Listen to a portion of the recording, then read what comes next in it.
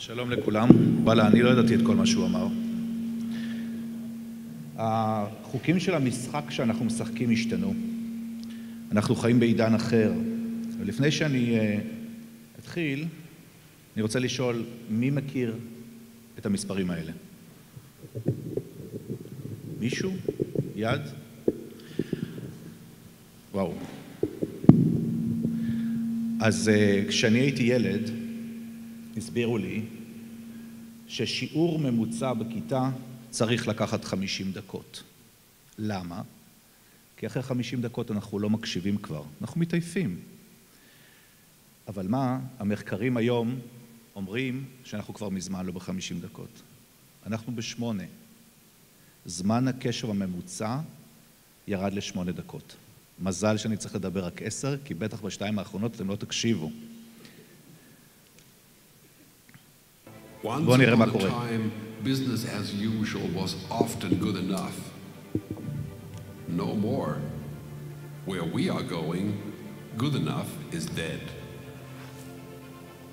In a world where everything is connected, where everything is equally excellent, where performance is reaching perfection, there's only one space left to innovate in you. Right now, you are a central point in the raging tornado of change fueled by digitization, mobilization, augmentation, disintermediation, automation. Well, the list goes on. Science fiction is becoming science fact. Think about self driving cars or computers that can learn and think. The way we work will never be the same. The skills we need will be dramatically different. Winning or losing are now happening faster than ever before. So, what's your response? How will you discover new opportunities in one of the most transformational times in human history?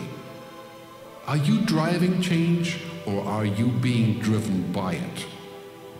Disruption has become the new normal. With change, it's always gradually, then suddenly, well, things really have stopped happening gradually. This change is exponential. אז החוקי המשחק השתנו, העולם הוא שונה. בואו נראה מה קורה בארגונים. אז לפני מספר שנים יצא ספר שנקרא Build to Last, אני בטוח שרוב האנשים שיושבים פה באולם מכירים אותו, ואם לא, אז אפשר לרוץ לקרוא, הוא כבר לא רלוונטי. הם דיברו על חמישה מאפייני הצלחה של חברה, שהגדירו אותה כנבנתה לנצח. בואו נראה מה הם. אז פעם אחת מובילה בתחומה, בטח יש פה הרבה שיושבים בקהל שהחברות שאתם מייצגים מובילות בתחומן. זוכה להערכה והערצה ממנהלים ואנשי עסקים מצליחים, משפיעה ומעצבת, מטביעה חותם על העולם, מנהלים אותה דורות של מנהלים, והיא קיימת מחזורי עסקים רבים. אלה היו הגדרות של קולינס ופורס בספר שהם כתבו, Build to Last. בואו נראה מה המשמעות. אז קודם כל, מי שמוביל, הוא יודע מה נכון, כי זה מנצח לו דורות. ודורות של מנהלים עשו את זה, זה אומר שזה עובד, נכון? אז אפשר פשוט לחקות את מה שהיה קודם, כי ככה עושים כאן דברים. אם אנחנו המצאנו את זה, מי אתם שתגידו לנו איך לעשות את זה? ומסורת והרגלים לא משנים, כי מתכון מנצח, צריך להמשיך איתו. מה ההשלכות של זה? זה קודם כל דיכוי יצירתיות.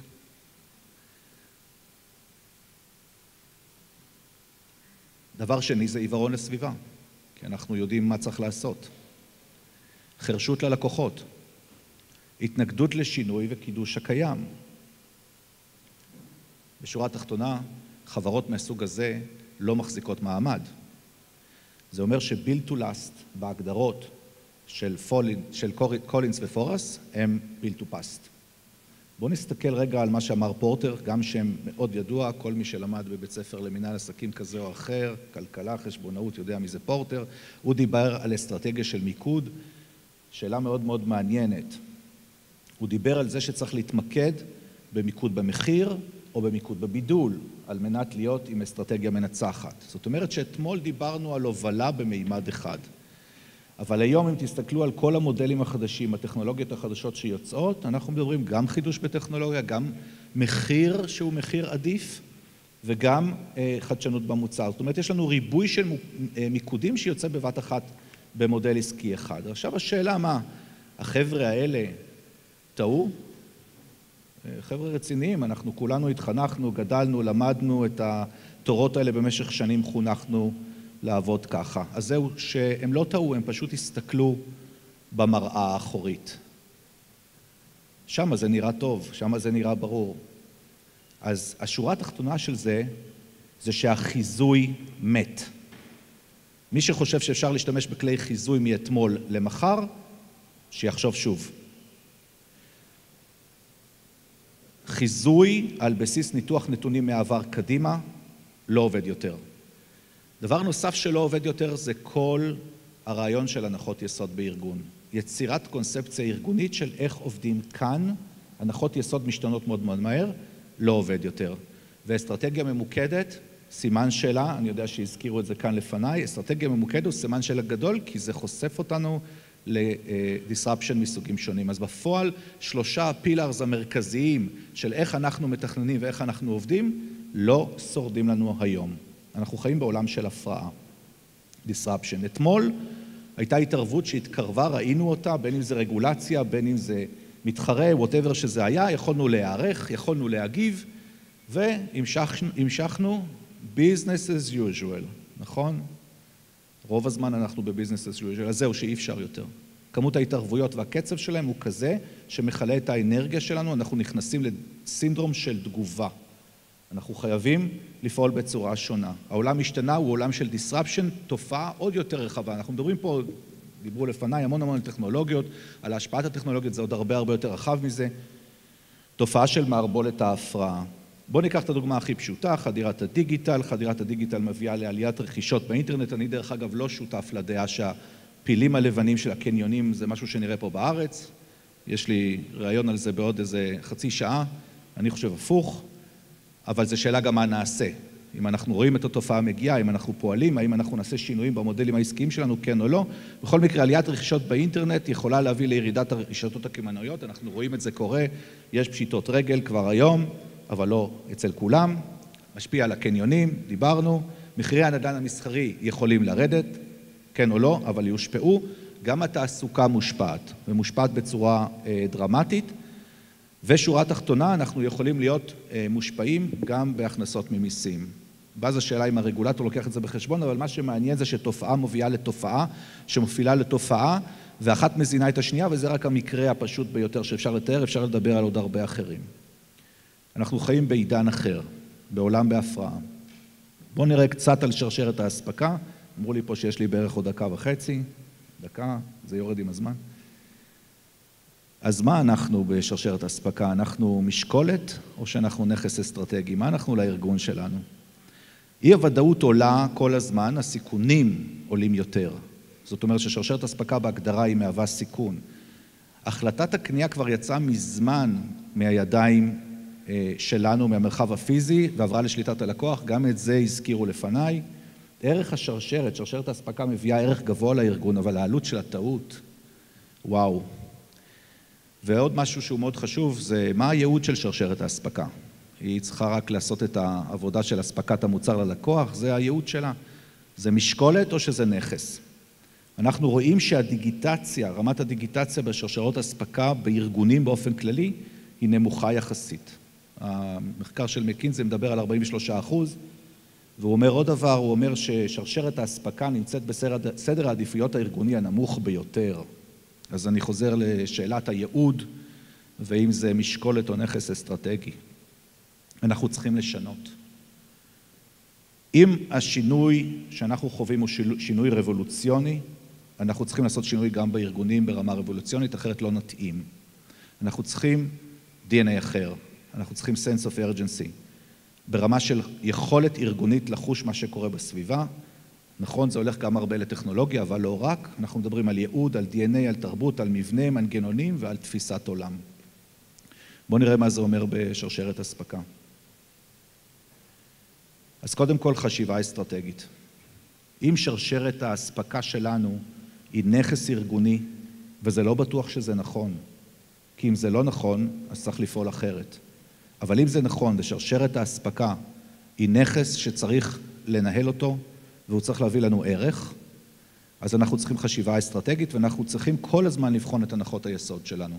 ולאו דווקא מה שחשבנו אתמול, ברמה של רמות שירות, ברמה של נחיצות ואיזה פעולות אנחנו עושים, הם הנחות היסוד הנכונות. תזכרו שהנחות היסוד מביאות לקונספציה, מביאה למקום לא טוב. זה אסטרטגי או טקטי? מאוד מאוד חשוב. אם זה אסטרטגי, אני צריך את זה, אני צריך לנהל את זה בצורה אחת. אם זה טקטי, אולי אני לא מנהל את זה בכלל. או אני מנהל את זה, אני לא מבצע. האם זה משקולת או נכס אסטרטגי? הרובד השני זה מה שאנחנו קוראים disruption strategy. אי אפשר היום לחיות ב-business as usual. אנחנו חייבים להבין שההפרעות לתפקוד העסקי שלנו יבואו ממקומות שאנחנו לא חוזים אותם. כן, גם מודל עסקי, לא רק טכנולוגיה, שינוי תרבותי, הרגלי צריכה ושינוי רגולטורי, כל אלה הם הפרעות שיכולות להתרחש כל הזמן. וכשהן מתרחשות, הן מפתיעות אותנו, וכשהן מפתיעות אותנו, זמן ההיערכות שלנו לא קיים, יש לנו זמן להגיב. כל העסק הזה מביא אותנו למקומות לא טובים. אז אנחנו חייבים לנהל את המערכת אחרת. אנחנו צריכים לחשוב disruption. קודם כל צריך לזהות סיכונים אפשריים, ואני יכול להבטיח לעצמי, לכולנו, שמה שאנחנו לא נזהה, נופתע ממה שלא זיהינו. אבל לפחות אם נעסוק כל הזמן בחיפוש מה הסיכונים האפשריים, הסיכוי שנצמצם את הסיכונים הוא גדול יותר, גם סיכונים החוצה פנימה, החוצה פנימה וגם פנימה החוצה. ראייה כוללת של השרשרת, מאוד מאוד חשוב, אנחנו סובלים מאוד מהעובדה שאנחנו לא רואים. אנחנו רואים מקטעים, אנחנו לא ממוחשבים לאורך כל הדרך, אין לנו את הניהול ואת המידע של כל השרשרת כמו שצריך. היכולת לראות את השרשרת כולה היא אה, קריטית. הערכת עלות הטעות. אם החלטנו על קו פעולה וטעינו, כמה זה יעלה לנו? כמה זה יעלה לנו לשלם עד שנאסוף את הטעות חזרה, וכמה יעלה לנו לשנות, ומה יהיה משך ההתאוששות. כל מה שאנחנו קוראים contingency plans, אבל ברמה אסטרטגית. חישוב מחדש של האסטרטגיה ועלות השרשרת אל מול הערכת הסיכונים. ומדברים הרבה על agility. אלוהים יודע מה זה agility בשרשרת אספקה. אה, אני קורא את כל מה שאפשר לקרוא על agility בשרשרת אספקה, ואני יכול להגיד לכם שום דבר שם הוא לא agile. אבל בואו נראה מה אפשר לעשות כדי להיות יותר גמישים. דיגיטציה, מאוד מאוד מעניין, כנראה שזה מרחב פעולה יותר רחב עבורנו. דיגיטציה לאורך תהליכים שלמים. אנחנו חייבים לבטל את כל ה handling שיש לנו בתהליך. למה? כי פשוט אי אפשר להמתין עם ה handling הזה. כל מה שקשור לעבודה ידנית בשרשרת הוא מהווה עבורנו בעיה, בעיקר בעולם של דאטה, אבל גם בעולם של תפעול, איסוף, הפצה, כל הדברים האלה. שליטה מלאה בנתונים, אנחנו חייבים תמונה אחידה, יכולת התגובה, יכולת התנועה המהירה, תלויה מאוד ביכולת שלנו לראות את הנתונים. שיתוף של ספקים ולקוחות, מדברים על זה המון, על ה-open APIs, המערכות המתקשרות, כל הדברים האלה הם קריטיים בעולם שלנו, וכמו שאנחנו מדברים עכשיו, יש יותר מערכות שמדברות עם מערכות אחרות ומוציאות את הנתונים. משהו שהוא דרמטי בעיניי, ואני לא מדבר על מערכות מידע דווקא, אבל גם buy, don't make. אז אם מישהו אומר לך, אם אין בעיה, אנחנו נעשה את זה פה, אז שיחשוב שוב. כי העלות הרכישה כשאני רוצה לעשות דמפינג בעוד שנתיים, כי שום דבר לא יהיה רלוונטי בעוד שנתיים, היא הרבה יותר נמוכה מזה שאני אבצע את זה לבד, כי לבצע לבד ייקח לי שנתיים, ועד שאני אגמור לבצע אני לא אהיה רלוונטי, וזה הולך למודל עסקי, וזה הולך להקמה של יחידות, וזה הולך למערכות מידע, זה הולך להכל. אני רוצה מוכן, עכשיו עובד. אם זה לא מוכן עכשיו ועובד, אני לא רוצה, ועדיף שזה יעבוד 70 אחוז טוב, מאשר שזה יעבוד 100 אחוז טוב, אין 100 אחוז. 100 אחוז זה כבר אחרי שזה לא רלוונטי. שינויים ושיפורים מתמידים, הזכיר את זה הראל. דרך אגב, אני חייב להגיד, חשיבת אמזון לא סתם, זה ארגון מוביל. אה, הם חושבים הפוך, אז רואים את התוצאות. כל הזמן לפרק פעילויות ותפקידים, לא להניח שתפקיד הוא כמות שהוא ושאי אפשר לשנות אותו, להניח שאפשר לפרק אותו ולמחשב חלק לפחות ולעשות קונסולידציה, שירות עצמי ותכנים ומידע. שיתופי פעולה על תכנים ומידע שיכולים להביא לי ערך. ולסיום, אמרו לי שנגמר לי הזמן.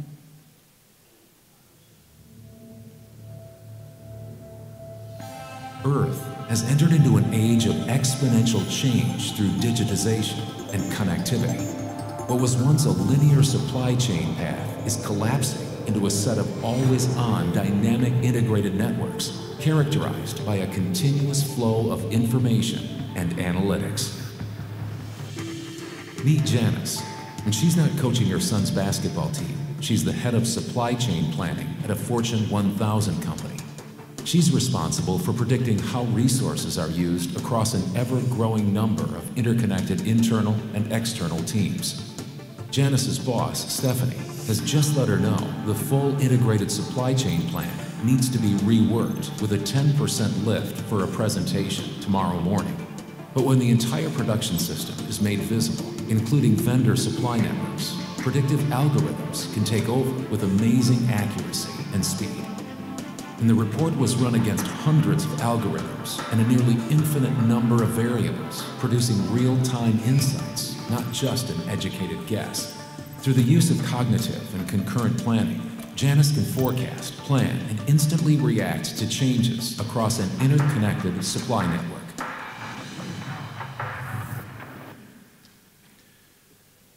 תודה רבה, בהצלחה לכולנו.